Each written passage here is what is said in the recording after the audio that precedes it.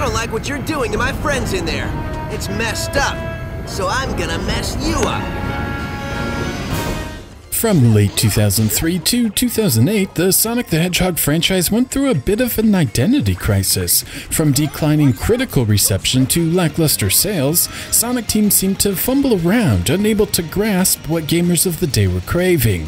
From the team mechanic in Heroes to gunplay in Shadow to realistic graphics in Sonic 06, and finally the Werehog in Sonic Unleashed, Sonic Team was chasing their collective tail, trying to win back the hearts of the mainstream gamer. Little did Sonic Team realize they were not alone, and the 3D platforming genre had basically run its course. Outside of the Mario franchise, platformers were fading fast, not unlike maze games from the 80s or shmups in the 90s. Sure, the genre still existed, but 3D platformers had become a niche genre. The open world sandbox game had fully taken over mainstream gaming in the 2000s, and mainstays like Crash and Spyro had basically died. Rather than trying to turn Sonic into an open world sandbox game, Sonic Team finally seemed to accept Sonic's fate as a niche franchise, and in 2010, Sonic Colors was released to the world. And miraculously, Sonic Team's restraint was rewarded by gamers and critics alike. IGN, who had been particularly harsh on the Blue Blur's 3D outings, scored the game an 8.5 out of 10, declaring, There are a few issues that mar an otherwise awesome experience, but those shouldn't stop Sonic fans and Wii owners from grabbing the best Sonic game in 18 years. GameSpot agreed, scoring the game an 8 out of 10, noting Sonic Colors offers a mix of 3D action and classic Sonic side-scrolling with dazzling visuals and exhilarating platforming. It wasn't just the old dogs that praised the game. In a 2010 video, YouTuber Some Call Me Johnny stated, Sonic Colors is incredibly fun and should be in every Sonic fan's collection. So, after 8 years, is Sonic Colors still worthy of the critical acclaim, or is it beginning to show its age? Let's take a look. Sonic Colors opens with an epic 7 minute cutscene. Actually, it doesn't. Sonic Colors begins with gameplay.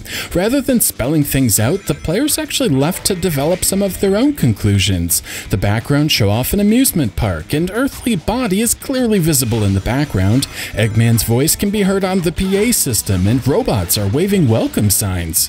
While I appreciate the epic cinematic openings of both Sonic 06 and Sonic Unleashed, the opening segments in Sonic Colors are the developers' way of letting players know the gameplay is going to be the focus of the adventure, with the story bits playing second fiddle. This is reinforced with Tropical Resort Act 2 beginning immediately after Act 1.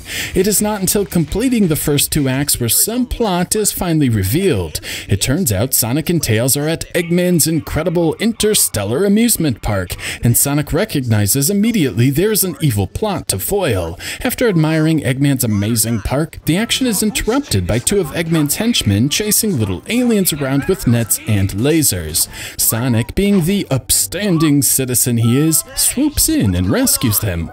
One of them then melds with Sonic or something, and Sonic ricochets across the park. Later on, the player learns Eggman is using these little aliens, called Wisps, as a power source for his evil plans. In a touching moment later on, the Wisps beg Sonic and Tails to save them. So, like usual, there is a hero hero, a villain, and a mission, so let's get going. The gameplay in Sonic Colors is pretty much the same as the 3D boost gameplay introduced in Sonic Unleashed. The first gimmick in Sonic Colors is the ability to break the sound barrier after filling the boost meter. A minor tweak is made, however. The meter is filled by nabbing a specific color wisp capsule, rather than collecting rings. The other minor tweak is the inclusion of a double jump, theoretically allowing the player to leap further or higher, but most often used to make midair corrections. Finally, the stomp, slide kick, and homing attack all make their return. What is new, however, are the Wisp powers. Not only do they allow Sonic to go super fast, different colored ones will give the player one-time unique abilities. First is the Cyan Wisp, granting the player the laser power. This can be used to ricochet off specific objects, laser through hordes of enemies, or enter certain tubes. The Yellow Wisp allows Sonic to drill through designated ground areas like dirt or cake. While underground, the player can smash through certain blocks and again enter shortcut tubes. There are also underground enemies to be destroyed. The orange wisp is a rocket which launches Sonic high into the air, then allowing him to skydive towards the ground. The blue wisp will flip certain cube blocks from solid to not solid, creating alternate pathways through levels in addition to destroying certain blocks. The green wisp allows Sonic to hover or fly, as well as ring dash across lines of rings. It's worth noting Sonic's traditional light speed dash is absent in the game. The pink wisp turns Sonic into spikes. In this form, Sonic can climb up walls, homing attack enemies, and perform the spin dash. Finally, the purple wisp is Frenzy, turning Sonic into a purple monster that can eat through certain destructible objects.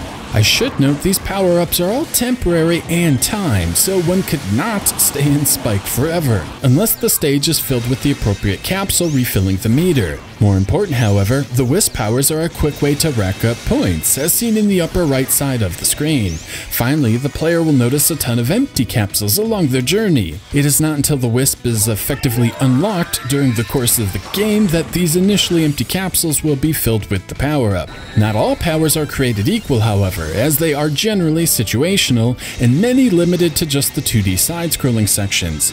Speaking of limited to 2D sections, a majority of Sonic Colors is side-scrolling, and the 3D sections harken back to the Crash Bandicoot series, being limited to pathways rather than being open areas lending to exploration. And this is a source of a lot of friction when discussing Sonic Colors today. Back in 2010, the Sonic franchise was nearly two decades old, meaning there was at least two generations of Sonic fans. This includes a generation who grew up on the Genesis titles and a generation who grew up on the 6th generation titles. Needless to say, though the 2D does an admirable job capturing the spirit of the Genesis games, I'm not certain I could say the 3D sections capture the spirit of the adventure titles. Whether this is a good thing or a bad thing is certainly up for debate, but I think it's worth pointing out the state of the Sonic landscape at the time.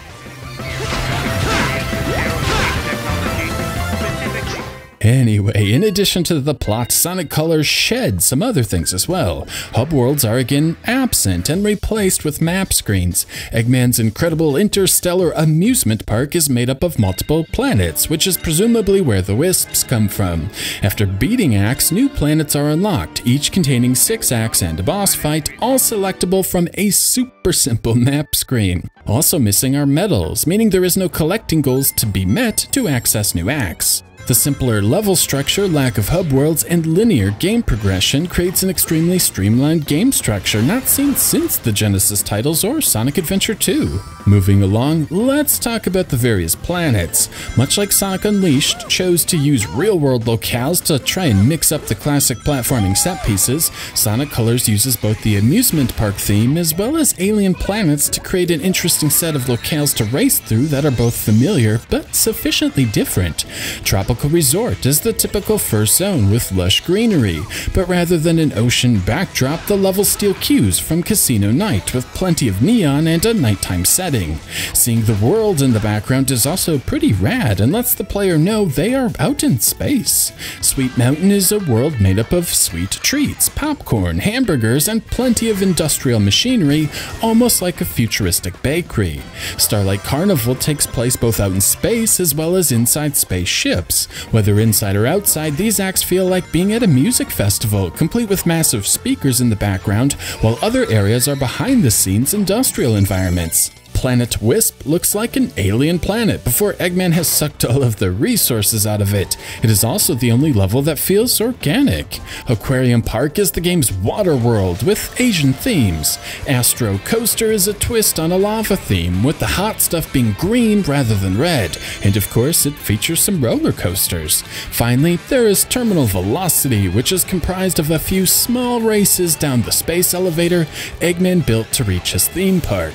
The unique alien twists, emphasis on space, and the industrial theme park motifs give Sonic Colors a unique look and style, and the game ends up feeling refreshing rather than rehashed. As Sonic Colors progresses, little snippets of the plot continue to be presented. As expected, Eggman's incredible interstellar amusement park is in fact part of an evil scheme. Eggman has developed a mind control beam and he plans to use it on everyone in the universe. For those who remember Batman Forever, this is basically the Riddler's box invention, continuing Sonic Team's trend of playing homage to American cinema.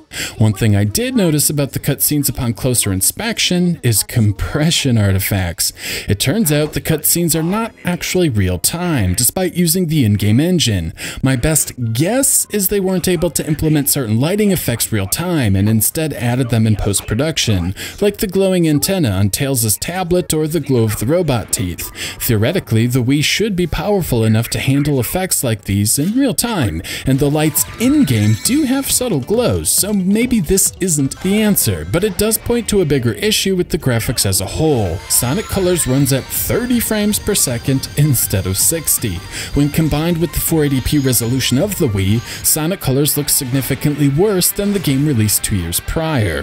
One could use an emulator along with an action replay code to play this in proper high definition at 60 frames per second, or inject the colors levels into the PC port of Sonic Generations for significant boosts in fidelity, but the only retail version of Sonic Colors as of this video is starting to look a little dated from a technical standpoint. The art direction, on the other hand, is excellent. Like the games before it and its namesake, Sonic Colors is popping with color. From the greens in Tropical Resort, the pinks of Sweet Mountain, the neons of Starlight Carnival, the reds and greens of Planet Wisp, the primaries of Aquarium Park, and the greens of Asteroid Coaster, Sonic Team did an awesome job using vibrant colors and the appropriate accents to really make each world pop off the screen. The texture work is excellent as well. Textures are sharp and really soft, and again harken back to the classic series with patterns of geometric shapes. Level geometry is also terrific. While platforms are often blocky, they contrast nicely with the detailed backgrounds, giving plenty of 3D detail without things getting visually confusing. Combine this with some of the best character shadows in the series, subtle effects like shiny surfaces, ripple effects with the wisps or underwater, and motion blur during boost mode, and Sonic Colors is a visually rich experience that is easy on the eyes. That said, I do wish Sonic Team had spent some time optimizing the game engine for the hardware, so this baby could zip along at 60 frames per second. I do know I let Sonic Unleashed off the hook for its frame rate, but the game's geometry, texture, and lighting work is still sensational, mitigating the issue somewhat. Still, I hope and suspect Sega will release an HD remaster for the game, much like they did for the adventure games. What isn't compromised by the Wii hardware is the soundtrack. Again, Sonic Team delivered on the audio and the soundtrack in Sonic Colors is rich, varied, catchy, and memorable. It's also worth noting while each of the game's worlds has a single song, each is remixed twice, so no more than two acts ever share the same exact composition or instrument selection. Tropical Resort features an upbeat, poppy arrangement with tropical sounding string instruments along with plenty of synthesized dance rhythms. Sweet Mountain sounds like a high school marching band or orchestra fused with California surfing music. Starlight Carnival is a techno sound with synthesized instruments and heavy bass, yet the melodies start off somewhat subdued and slowly build into an epic chorus. Planet Wisp gives off new age vibes, but the energy is heightened with prominent piano notes or guitar strums. The somber tone with the high energy notes match perfectly with the destruction of the planet and Sonic's speedy nature. Aquarium Park is another stunning piece with power pop vibes and some of the catchiest melodies found in the entire game. Asteroid Coaster is the rock portion of Sonic Colors, with electric guitar sounds giving a distinct nod to Sonic Adventure 2. There is also Wisp specific music and some wonderfully orchestrated boss tunes. From top to bottom, beginning to end, Sonic Colors is a treat for the ears, and I honestly can't find a single fault.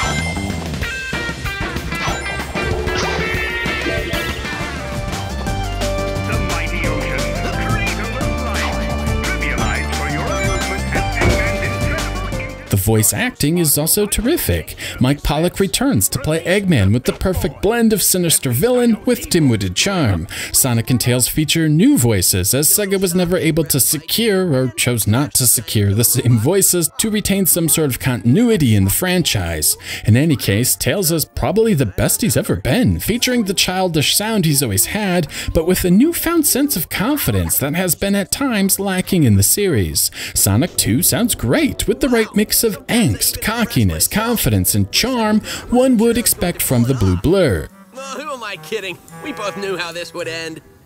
Uh, Are you talking to the broken robot who can't hear you?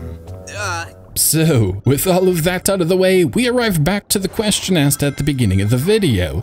Is Sonic Colors still worthy of the critical acclaim, or is it beginning to show its age? First, let me say Sonic Colors gives a great first impression. Thankfully, the first time I played and beat Sonic Colors over four years ago, I wrote about it, so I can recall what a first playthrough is like. Past me was impressed. I was impressed with the responsive controls, delighted the camera issues were non-existent, and pleased with the lack of collision issues or other glitches.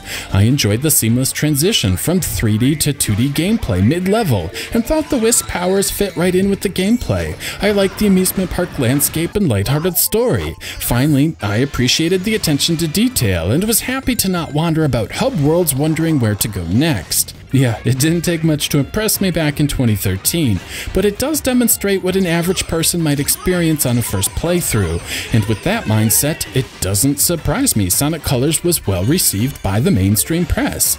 But I'm not here to talk about first impressions. First, I want to give credit where credit is due. For the first time since the early 90s, Sega finally managed to capture some of that Nintendo magic.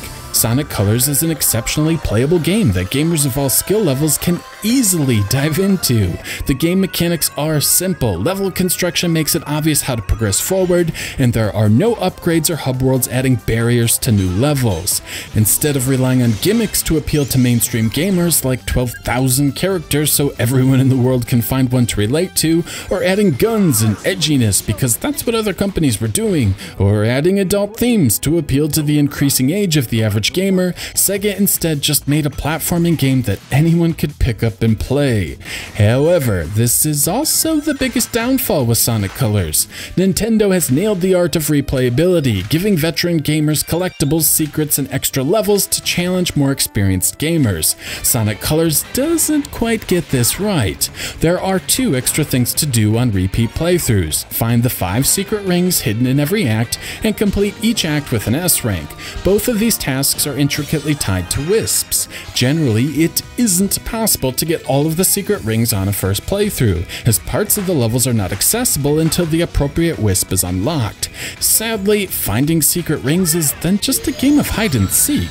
A newly unlocked drill wisp is a sign it's time to drill down, and sure enough, there is a secret ring. Other times, enemies need to be cleared to reveal a secret ring, but again, this isn't challenging, one just needs to be observant. The same goes for the S ranks. Getting an S rank doesn't revolve around finishing an act with a ton of rings in a short amount of time. Rather, it mostly revolves around having a high score. Collecting those red rings and using Wisp powers is the easiest way to score massive point bonuses, and since many Wisp capsules will respawn indefinitely, earning these formerly prestigious S ranks is at times ridiculously easy.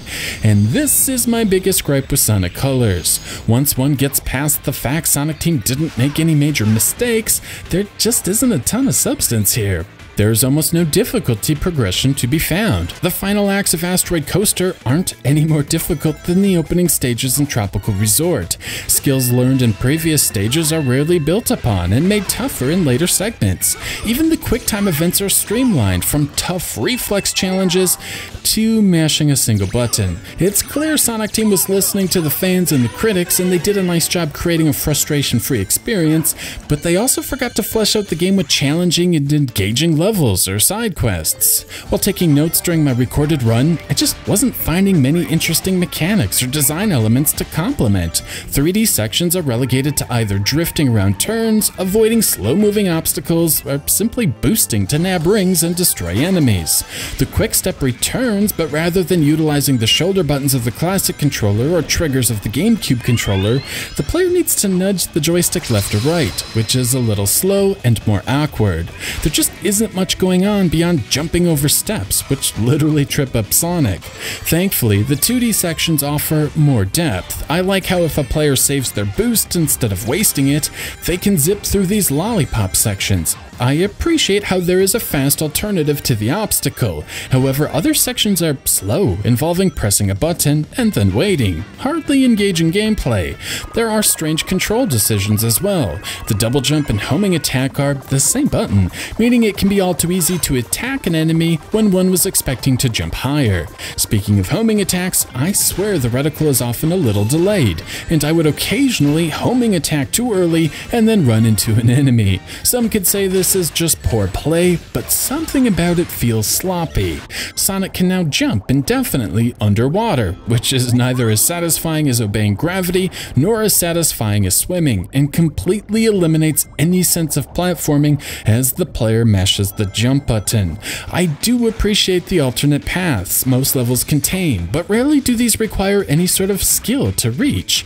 Rather, the player just needs to notice they are there. Rewarding skillful play with shortcuts is is good game design. Having branching paths for the sake of having branching paths, not so much.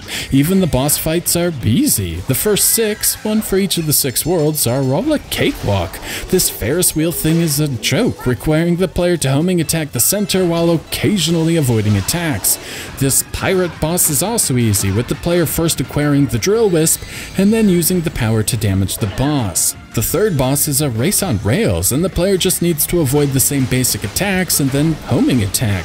The three boss types are then repeated with minor alterations, but are still exceptionally easy. After clearing the six worlds and the six bosses, the final moments of the game are unlocked. It seems when Sonic destroyed the first boss, a piece of the robot breached some sort of tank. At the end of the adventure, after Sonic destroys all of Eggman's power generators, Eggman laughs as he has already secured the power needed for the mind control cannon. When he goes to use said cannon, the tank from the beginning of the game explodes. Sonic and Tails then need to head back to the world before the park explodes. From here, there is a quick jaunt down part of the elevator before Eggman stops Sonic in his tracks. Sonic then pushes Tails into an elevator for a safe escape back to the world, and the final boss encounter occurs.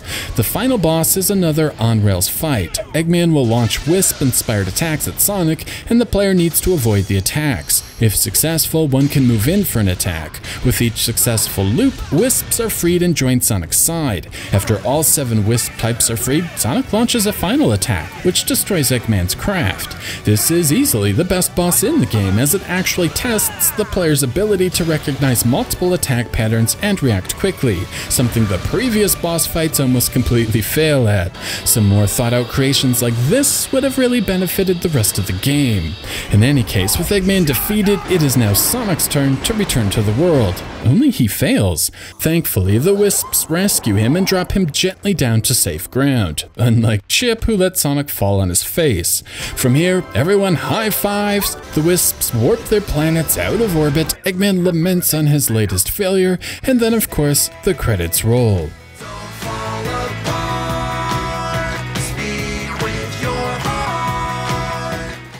While I find the level design pedestrian and the difficulty progression nearly non-existent, there are gameplay elements I do enjoy. I was prepared to talk about how poor Sonic jumps in the 2D sections, but the more I played Sonic Colors, the less problematic the jumping became. There is something extremely odd about the jump arc. The trajectory and speed seem to change just before the midway point of the jump, making it feel unpredictable and sloppy. This can lead to a lot of unnecessary double jumps as the momentum is difficult to predict. However, I did find if I would just trust the jump and let it play out, everything went a lot smoother. Platforms are generally spaced out in a way perfectly suited to the odd jumping arc. Additionally, the jump dash or boost do a perfect job allowing players to go from the air to forward in a quick and intuitive way. The stomp allows the player to halt forward progression with a button press, and the homing attack is excellent, allowing the player to snatch items and then homing attack, avoiding the jumping altogether or reach new heights in a different way.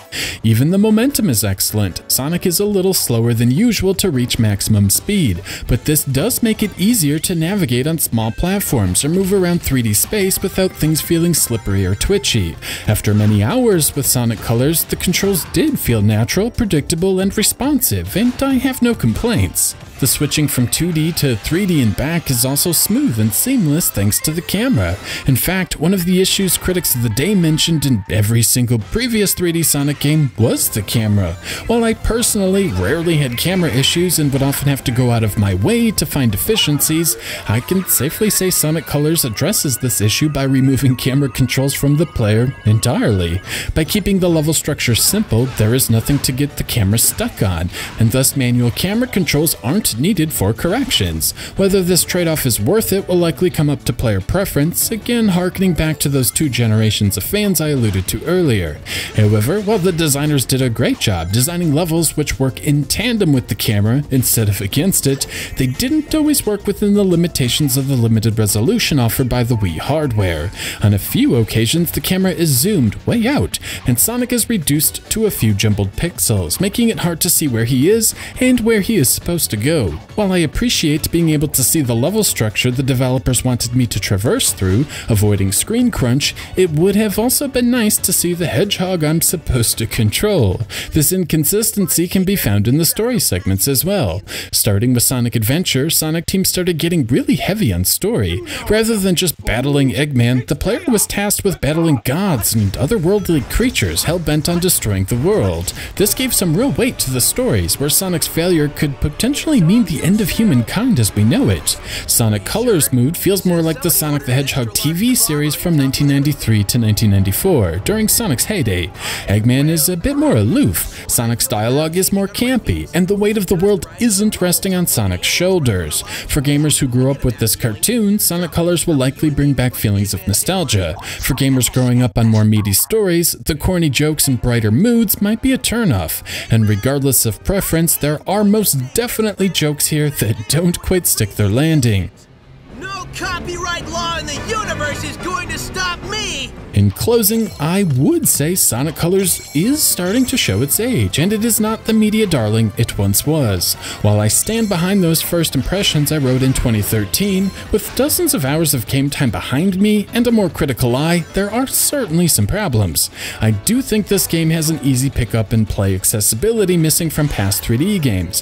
However, I also feel Sonic Team failed to make a game which is deep enough for multiple playthroughs. While replaying levels with new Wisp powers and new goals is interesting enough, and the player is able to better utilize skills like the jump, dash, and boost to progress through levels quicker as well as boost in more opportune moments, there is little here to challenge the player and really test their platforming prowess. The level of interaction is at times severely lacking, with automated moments lingering for a little too long without the pleasure of spectacle. I could only identify a couple of moments where concepts introduced in one act were expanded upon in later acts. This includes these laser enemies, which start as a pair and are then expanded to triplets, and this jump spring which requires precision timing to avoid extruding blocks and I'm really reaching here. Don't get me wrong, I do appreciate the lack of padding, like forced multiple playthroughs or tedious fetch quests, but I still come out of Sonic Colors wanting more. Still, while lacking in depth, Sonic Colors also lacks in frustration. There are some charming moments. Tails is finally able to hold his own and isn't a whiny sidekick. The soundtrack kicks ass and the art direction is terrific. The wisps are simple to use and don't require motion controls. I just wish the game offered more depth. I still recommend Sonic Colors to folks who have never played a Sonic game before, but for Sonic diehards and platforming veterans, Sonic Colors is a little shallow.